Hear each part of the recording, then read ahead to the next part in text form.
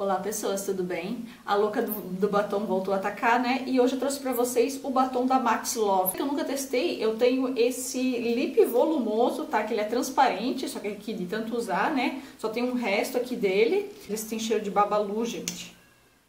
Ai, que delícia. Esse aqui é o cor 666.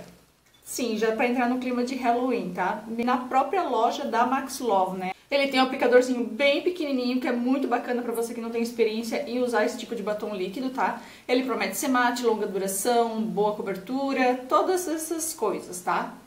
Hum, ele é super fininho, delicioso. O cheiro já ganha o coração, né? Voltei aqui, ó, está sequinho definir se ele é um marsala, se ele é um rosa mais escuro, ou se ele é um vermelho diferenciado.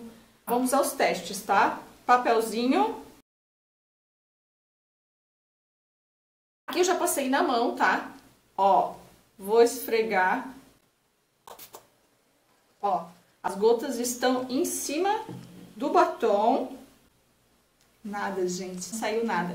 Gente, perfeito, super baratinho, tá, gente? Eu não paguei nem 10 reais nesse batom aqui, então dependendo da loja que você comprar, principalmente se você comprar na Shopee, você vai pagar super barato. Então, esse batom da Max Love está super aprovado, eu amei. Quero que vocês coloquem aqui quais os batons que vocês têm da Max Love, as cores que vocês amam, deixa aqui nos comentários que eu quero muito saber, que se eu me interessar na cor, eu vou comprar e vou mostrar aqui pra vocês, tá bom? Beijos, até mais, tchau, tchau!